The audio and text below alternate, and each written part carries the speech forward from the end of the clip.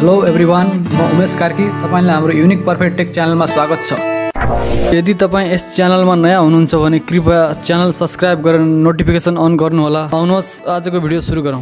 Hello साथीहरू नमस्कार। तपाईँलाई हाम्रो युनिक पर्फेक्ट टेक च्यानलमा स्वागत छ। साथीहरू आजको भिडियोमा चाहिँ हामी बिजी एकाउन्टिङ सफ्टवेयर सम्बन्धी भिडियो सिरिजको पार्ट तेह्र ल्याएर उपस्थित भइरहेका छौँ। पार्ट थर्टिनमा चाहिँ आज हामीले चाहिँ डाटा फ्रिजिङ चाहिँ कसरी गर्ने त बिजीमा सम्बन्धी जानकारी दिनेछौँ जस्तै हामीले कुनै पनि इन्ट्री गरिरहेका छौँ। जस्तै कुनै पनि डेटभन्दा अगाडि चाहिँ हामीले चाहिँ इन्ट्री गर्नलाई चाहिँ हामीले रोक्नु पऱ्यो डाटालाई चाहिँ फ्रिज गर्नु पऱ्यो त्योभन्दा अगाडि चाहिँ हाम्रो इन्ट्री नहुने बनाउनु पऱ्यो त्यतिलाई चाहिँ हामीले चाहिँ डाटा फ्रिजिङ अप्सनलाई चाहिँ युज गर्न सक्छौँ र यहाँ सहिलेसँग चाहिँ हामीले डाटा इन्ट्रीलाई रोक्न सक्छौँ र त्यो पछाडिको डेटमा चाहिँ इन्ट्री रोकेर चाहिँ हामीले त्योभन्दा अगाडि मात्रै इन्ट्री गर्न सक्छौँ। यसरी चाहिँ डाटा फ्रिजिङलाई कसरी युज गर्ने तपाईँलाई चाहिँ स्टेप बाई स्टेप देखाउनेछौँ। यसको लागि चाहिँ तपाईँले हाम्रो भिडियोलाई चाहिँ अन्तिमसम्म स्किम नगरिकन हेरिदिनु होला तपाईँले चाहिँ सहिलेसँग आफ्नो डाटाहरूलाई चाहिँ फ्रिजिङ गर्न सक्नुहुन्छ। यसमा चाहिँ हामीले पार्टी सेल लिएर चाहिँ पुरा फुल्ली फ्रिजिङ गरेर देखाउनेछौँ यसको लागि अब चाहिँ भिडियो सुरु गर्न गइरहेको छौँ। हामी चाहिँ सुरुमा बिजी सफ्टवेयर ओपन गर्छौँ।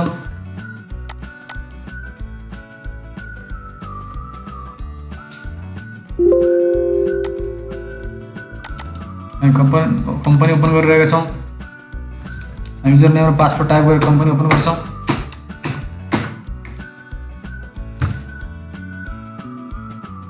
यसमा चाहिँ हामीले एडमिनिस्ट्रेटिभ फिचरभित्र हामी जानुपर्ने हुन्छ। योभित्र हाम्रो रहेको छ युटिलिटी फिचर हामी युटिलिटी फिचरमा क्लिक गर्छौँ। अब यहाँ सुरुमा हामी हेर्न सक्छौँ डाटा फ्रिजिङ हामी डाटा फ्रिजिङ फिचर युज गर्नलाई चाहिँ हामी डाटा फ्रिजिङमा क्लिक गर्छौँ। हाम्रो अगाडि चाहिँ दुइटा अप्सन आएको छ।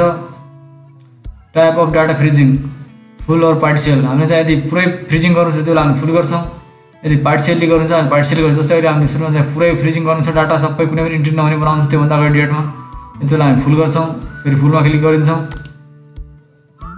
हामीले चाहिँ यहाँनिर यसको ठाउँमा एनको ठाउँमा नौको ठाउँमा एस गर्नुपर्ने हुन्छ। अब चाहिँ हामीले डेट चुज गर्नुपर्ने हुन्छ जस्तै कुन डेटसम्मको हामीले डाटा फ्रिज गर्ने जस्तै हामीले दुई हजार अठार चार महिना पाँचसम्म हामीले मानव फ्रिज गर्नु छ यहाँ हामी पाँच टाइप गर्छौँ। अब चाहिँ हाम्रो चार महिना पाँच चार महिना पाँचसम्म चाहिँ इन्ट्री हुँदैन चार महिना पाँचभन्दा माथि छ चार महिना सात चार महिना आठ इन्ट्री गर्न सक्छौँ त्यसपछि। यस गर्छौँ।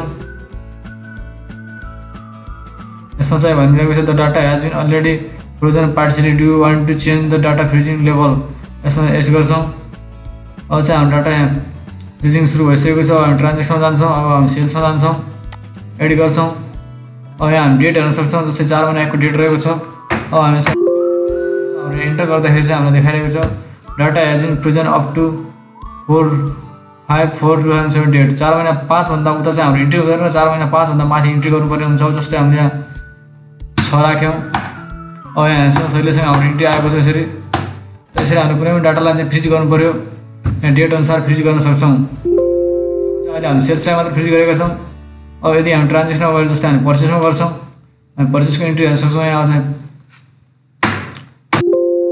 फ्रिज गरेको छ किनभने यसमा चाहिँ हामीले फुल्ली यसमा फ्रिज गरेका थियौँ यसरी चाहिँ अब हामीले कुनै सेल्सलाई मात्रै फ्रिज गर्ने या पार्टिसियलले पर्चेसलाई फ्रिज गर्ने या रिसिभलाई फ्रिज गर्ने कुनै एउटालाई मात्र फ्रिज गर्न सक्छौँ सेटिङ चेन्ज गर्नुपर्ने हुन्छ इन्स्टिट्युटमा जान्छौँ हामी युटिलिटीमा जान्छौँ डाटा फ्रिजिङ अप्सनमा जान्छौँ यहाँ हामीले फुलको ठाउँमा चाहिँ पार्टिसियली गर्नुपर्ने हुन्छ।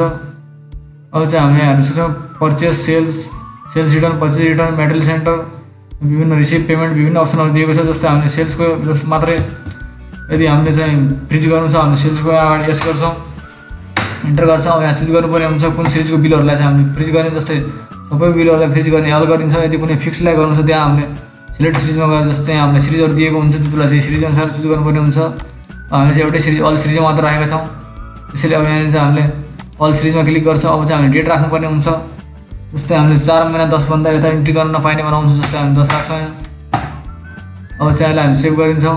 त्यस्तै एकभन्दा बढी पनि हामी राख्न सक्छौँ। सेल्स र पर्चेसको मात्र पनि राख्न सक्छौँ। या सेल्स र रिसिभको मात्र राख्न सक्छौँ। यहाँ विभिन्न अप्सनहरू चुज गर्न सक्छौँ। अब यसलाई हामी सेभ गरिदिन्छौँ। अब यति गरेपछि अब हामी यहाँ ट्रान्जेक्सनमा जान्छौँ अब यहाँ सेल्समा एड गर्छौँ। अब यहाँ हेर्न सक्छौँ हामी।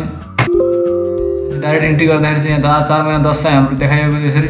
योभन्दा अगाडि चाहिँ हामीले इन्ट्री गर्न पाइँदैन। अब यहाँ चाहिँ हामी डेट चेन्ज गर्नुपर्ने हुन्छ जस्तो अब हामी दस राख्छौँ।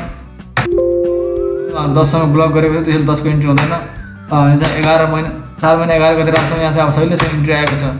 यसरी चाहिँ तपाईँले सहिलेसँग इन्ट्री गर्न सक्नुहुन्छ। त्यसरी हामी सहिलेसँग डाटालाई चाहिँ फ्रिज गर्न सक्छौँ। पार्टिसियलले अब हामी यसलाई हामीले फ्रिज गरेका छौँ। फ्रिजलाई यदि हटाउनु पर्ने छ हामीले फेरि हामी एडमिनिस्ट्रेटिभ टुलमा जान्छौँ डाटा फ्रिजिङमा जान्छौँ। यहाँ चाहिँ हामीले पार्टी सेलमा राखेका थियौँ अब पार्टी सेलमा फेरि जान्छौँ। यसलाई हामीले नो गर्नुपर्ने हुन्छ।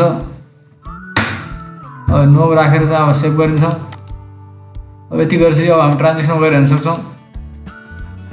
अब हामीले चार महिना गरी ट्रान्जेक्सन गर्छौँ यहाँ चाहिँ सहिलो ट्रान्जेक्सन भइरहेको छ। साथीहरू यसरी चाहिँ हामीले चाहिँ चाहिएको कन्डिसनमा चाहिँ डाटाहरूलाई फ्रिज गर्न सक्छौँ र फेरि यसलाई अनफ्रिज गर्न सक्छौँ।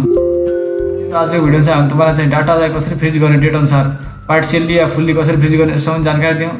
साथीहरू आजको हाम्रो भिडियो मन पऱ्यो भने लाइक गरिदिनु होला कुनै सल्लाह सुझाव भयो हाम्रो भिडियो कमेन्ट गरिदिनु होला र यस्तै नयाँ नयाँ भिडियो हेर्नुको लागि हाम्रो च्यानललाई सब्सक्राइब गर्नुभएको छ भने हाम्रो च्यानल सब्सक्राइब गरिदिनु होला। धन्यवाद।